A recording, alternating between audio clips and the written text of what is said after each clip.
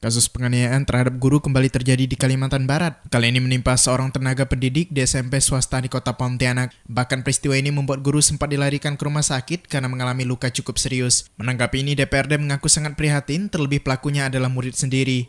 Untuk memproteksi kasus serupa, DPRD mendorong pemerintah membentuk unit pelayanan hukum perlindungan guru. UPHPG ini diperuntukkan agar profesi pendidik lebih terjamin keselamatannya. Nah, dalam konteks uh, pelindungan hukum ini kita lihat saat sekarang ini kan guru terkesan agak sedikit uh, ada kemunduran dari sisi upaya untuk uh, melakukan atau melaksanakan tugas dengan baik. Kenapa?